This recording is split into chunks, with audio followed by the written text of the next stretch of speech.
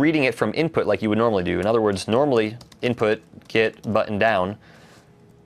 That's specifically tied to like your keyboard, like uh, input.get axis horizontal.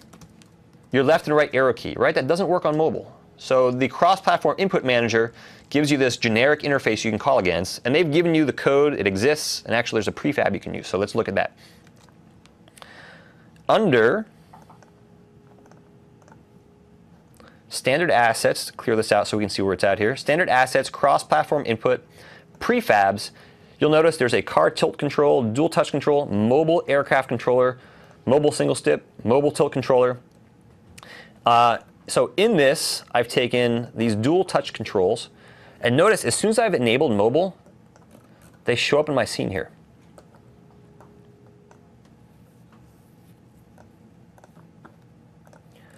So these are 2D elements that they've added, and these will you can hide these images, so I can delete these images, and ideally you want to do that. They're just showing you, hey, these are the areas that, that we're defining in your game. So what happens is when you have this enabled and you do a build, it's no longer reading from the keyboard. It's actually waiting for you to touch. Now this will not work in Unity's interface. If we click on play, and we try to play our game here, right? I can't, like, I'm moving around, clicking, it doesn't work. I'm using my keyboard, it doesn't work at all. It's essentially waiting for you to touch the screen, which the input.touch works on mobile. Um, specifically mobile controls here. So let me show you, if you build to a phone, you can plug in a Windows Phone that's registered as a developer, say build and run, unlock your screen, and it will deploy right out to your phone. If you want the Visual Studio solution to work with, you just do build. And we're going to cover this in the last module of the day today. But let me load up my phone here. And if you want to see what's on your phone, you load the Project My Screen application for Windows Phone. I click on Yes to allow screen projection. And I've got my VampKit 3D here. Let me get it close to me so you can hear the audio when it loads up. There we go. So you can see the uh, the icons here. For I'm touching on the right here. Turn touch area, and if I press on the left here and move forward,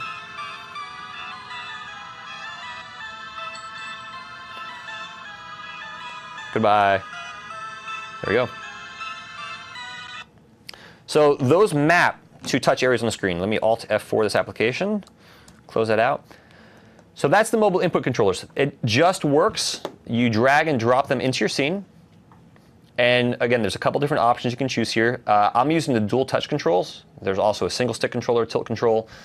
Drag them up in your scene, enable your mobile input, and it just works as long as you're using the standard assets. If you're trying to in integrate the standard assets with some of your own code, you're going to have to call, rather than using input, you're going to have to use their cross-platform input class to read those in instead of input dot whatever. All right, moving on. AI. Um, this is a funny term. Artificial intelligence. Oof. The funny is not artificial, um, but it's intelligence because it's not really intelligence. If you look at most games, the logic in games uh, does something like this. Uh, if something is in range, do X, otherwise do Y, and uh, every now and then randomly choose some other op, some other Z, some other action, right? Uh, take a zombie, for example. Sit there idle, um, walk around, sit there idle again, scratch your head randomly, like every 10 seconds, do some random action, and then if the player comes within range of you, then pretend you're attacking, right? It's, it's a pretty simple process. It's not really artificial intelligence. Now, granted, there are games that have amazing, uh, seemingly AI in them, but for what you typically see on mobile and a lot of like desktop games, um, it's very, very rudimentary AI. That's why I hesitate to use the term uh, AI. Now, we're going to look at uh, just like what seems to be artificial intelligence movement. In other words, nav, uh, Unity's pathfinding system, which is uh, NavMesh, navigation meshes. And this allows you to move between areas to go from essentially from point A to point B. Um, you can go between defined navigation areas. So you have these uh, off navigation areas that you can travel upon to get from point uh, region A to region B. You can uh, be you can be defined to a particular area. You can say, hey, I want to be able to go up these inclines, or uh, I can't go inside of an area that my head won't fit. So there's all sorts of parameters you can specify here. Uh, there were there were pro-only features in Unity 4.x. Well, when Unity 5 was released, uh, they did something that was pretty amazing, and they they made uh, the personal edition uh, have all the same integrated features as the professional edition. Of course, the professional gives you additional add-on features, analytics, cloud build, etc. Uh, but all the basic uh, in-game features that you're going to use are the same between the free version and the professional version. So you have all these really cool navigation things available to you. So let's look at um, a demo. We're going to look at our Nav Mesh Unity, and that is, go to my scenes.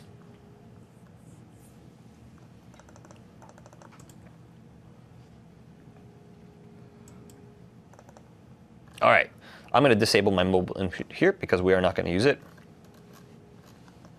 Get out of 3D mode, out of 2D mode, I should say. You can see my baking going on down there in the lower right-hand corner.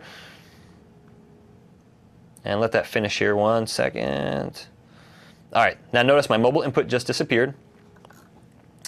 And let's go to find my vamp kid here, or my, one of my patrol points. All right. We can make this pretty simple. Let's delete this guy. Actually, we'll just hide this guy. All right, what I've done here, the intent is I want something to follow the player. So let's play. And this is nothing new. We've got this little world here, and this guy can run around here. All right, now if I have an enemy that I want to follow my player or move between points, we need to tell Unity about these objects here. So let me just move some of these around a little bit. Because I'm just going to essentially break up some stuff. Now we want to go to Window, Navigation.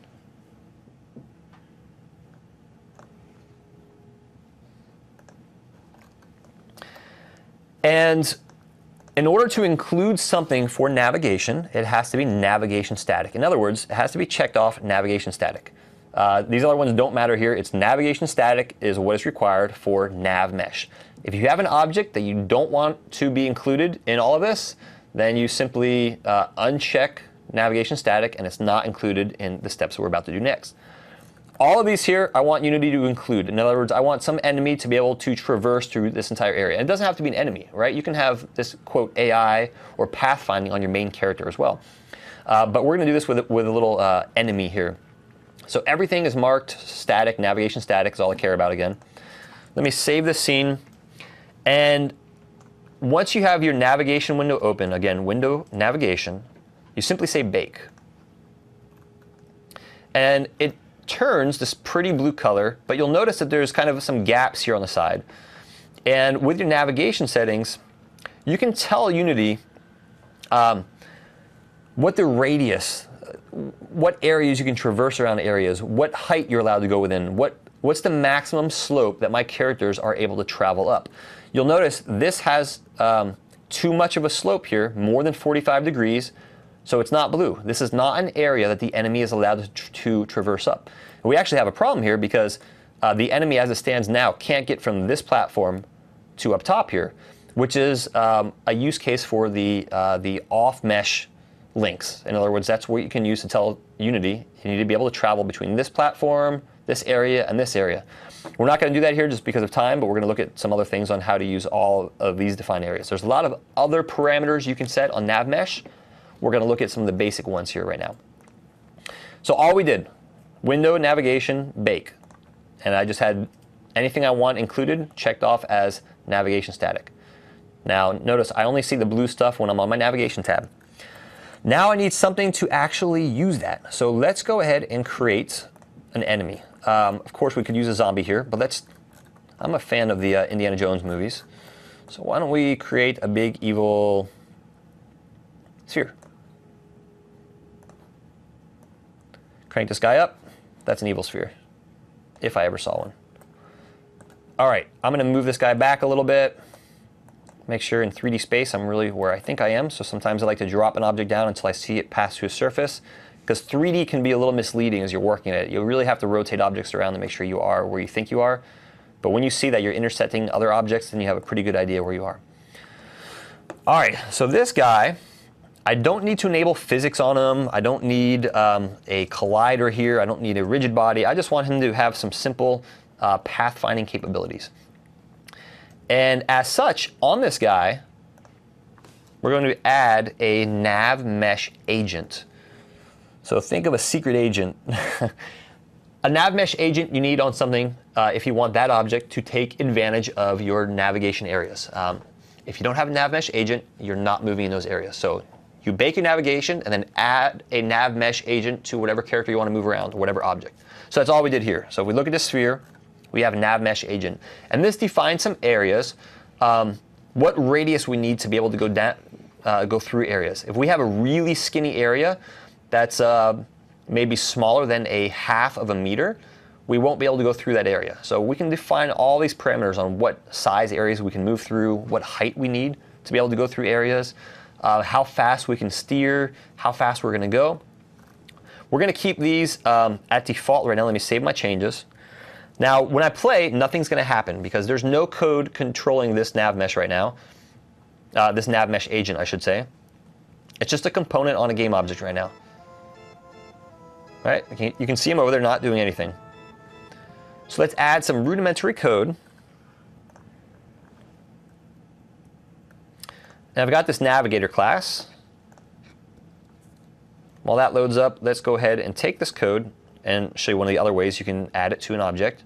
We've looked at dragging up here. We've looked at dragging over there. You can do it here as well. And there we go. So our, our code has been assigned to Navigator.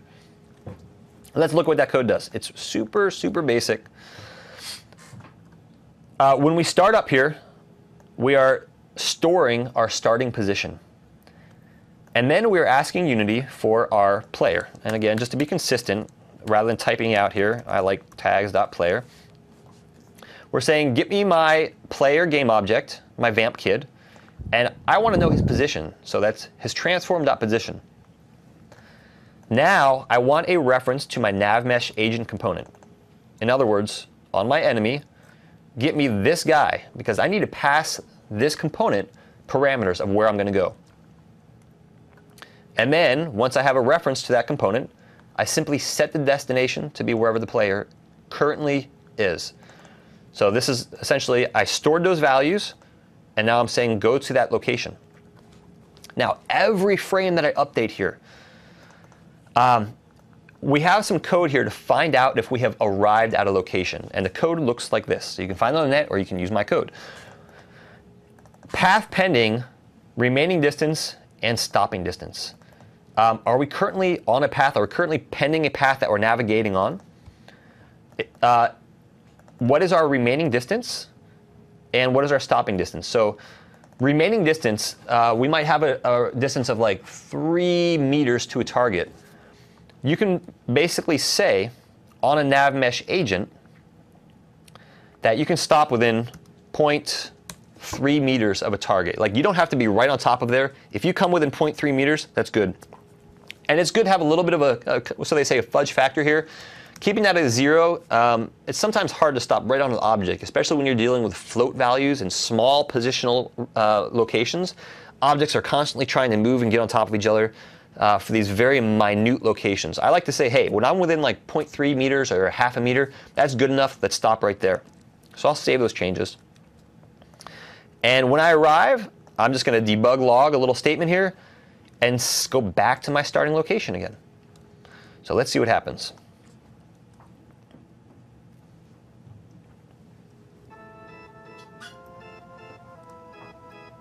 Now you can see he's coming after wherever my starting position was. Let's get out of his way, because he's going to wherever my starting position was.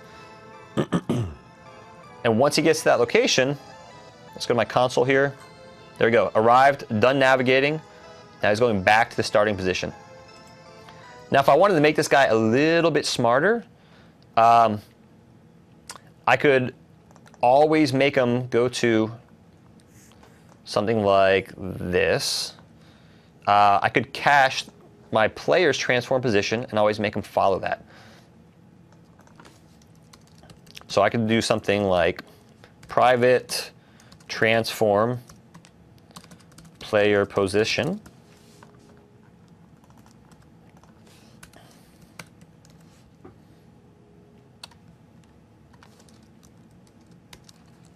I should probably call that player transform. It's not really his position, it's just transform.